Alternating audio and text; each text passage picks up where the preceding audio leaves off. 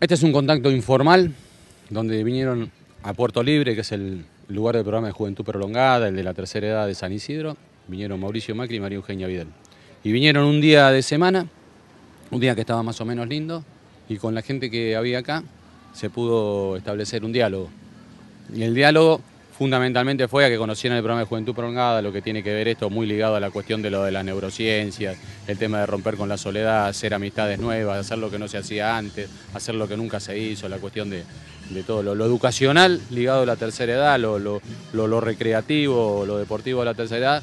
Y bueno, y lo más esperado era el mensaje de Mauricio Macri respecto del plan de, resarcimiento a la tercera edad en el tema de, lo, de los juicios. Eh, muy bueno, muy bueno. Eh, desde ya quiero decirles que de manera espontánea fue excelente la, relación del presidente con la gente y bueno, de la gobernadora con la gente. Acá ya la conocen más porque ella sabe venir conmigo. Para mí es natural estar en este lugar. Tengo el, timing, conozco cómo, cómo, cómo reacciona la gente en, los lugares de San Isidro y quiero decirles que fue espléndido el hecho de, la, de la, relación. Me cayó muy bien.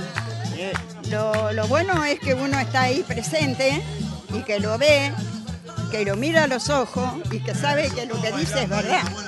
Y mucho, si lo, si lo podemos llegar ¿eh?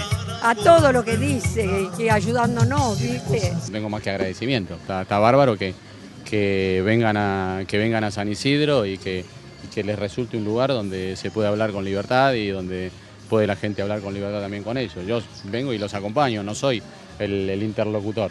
Soy el intendente del lugar, genero las condiciones para que se haya podido hacer de manera espontánea. Esto no es la organización de un acto, esto es algo espontáneo.